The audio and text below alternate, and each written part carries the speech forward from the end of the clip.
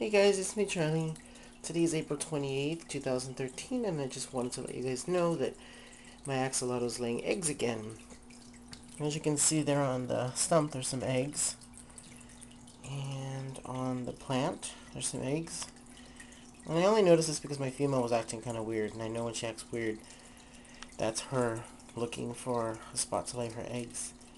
And then if you guys look down here, right in the center, if you guys can see that. Oops, there we go. Right there is a sperm pocket. Do you guys see it in the center of the screen, the little white thingy? That's what she picks up and gets pregnant. And then lays her eggs everywhere. And she's got some more right there. Some more over here few down here.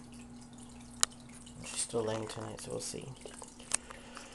Oh my goodness, silly girl. I also had to change the filter because the other one had a little defect all of a sudden, so I have this one and it's set on low. You can see the water trickling. But you can also set it up a little bit higher.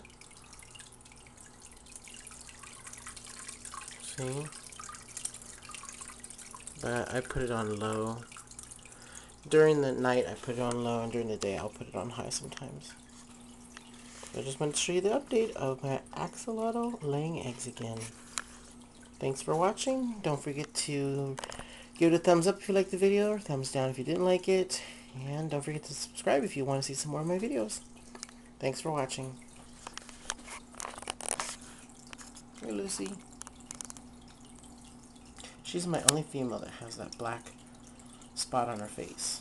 Um, the babies don't have that. So I'm going to keep another pair of those. And there's the male. Can't see him